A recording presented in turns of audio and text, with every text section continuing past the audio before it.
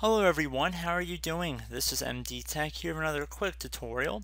Today I'm going to be showing you guys how to turn off the Microsoft Consumer Experience notifications you might be getting on your Windows device. So this can be definitely very annoying and in this brief tutorial I'm going to be showing you guys how to hopefully fix it. So there's one way you can do it and that'd be to go through the local group policy editor. However, I'm very well aware that our friends on Windows 10 Home Edition do not have access to that functionality.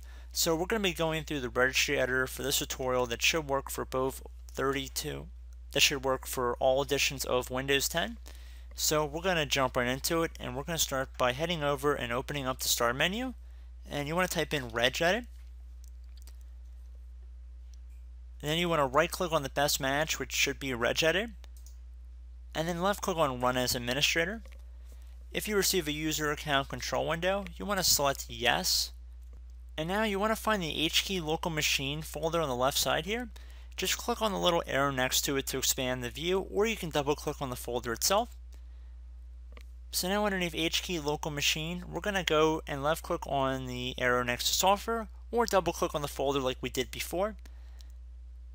And now we're going to do the same thing for the policies folder right here. And then we're going to do it again, exactly the same for the Microsoft folder and now we're going to do it again for the Windows folder. So you want to look for something underneath Windows that says Cloud Content. If you do not have a Cloud Content folder, I'm going to show you guys how to create it pretty quickly. So you want to right click on the Windows folder right here, left click on New, and then left click on Key.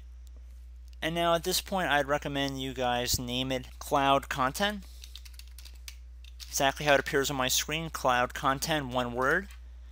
So once you've created this folder, you're going to see you're going to have a default entry right here. And underneath that, you want to right click in the space, left click on new, select dword 32-bit value. And you want to name it disable Windows consumer features exactly how it appears on my screen, D-I-S-A-B-L-E, disable, Windows, W-I-N-D-O-W-S, consumer, C-O-N-S-U-M-E-R, features, F-E-A-T-U-R-E-S, and once you've done that and ensured you spelled it correctly, you want to hit enter to save it. And then once you've done that, you want to double click on this new D word value we created and you want to set value data to 1 so you can either click the backspace key on your keyboard or delete key on your keyboard and you want to type the number 1 don't spell it out just like the number 1 and then click on OK to save. So we want to create another one in here too. So I'm going to right click in the blank space left click on new another dword 32-bit value.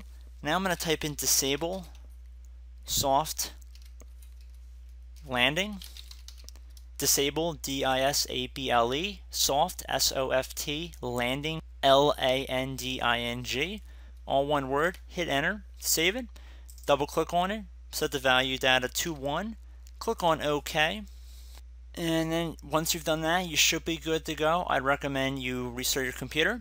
And now I should also note if you already have the cloud content folder created, you just want to make sure the values are set to 1, both of them. And that's pretty much it.